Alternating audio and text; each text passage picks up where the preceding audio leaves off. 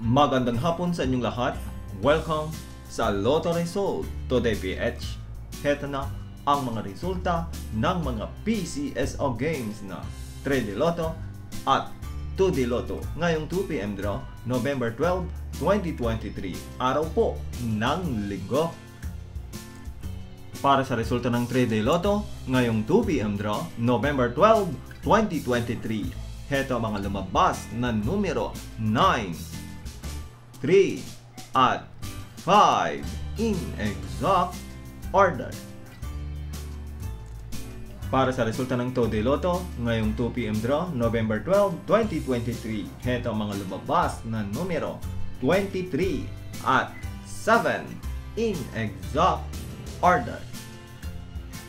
Muli, maraming salamat po sa panonood sa ating video ngayong 2pm draw.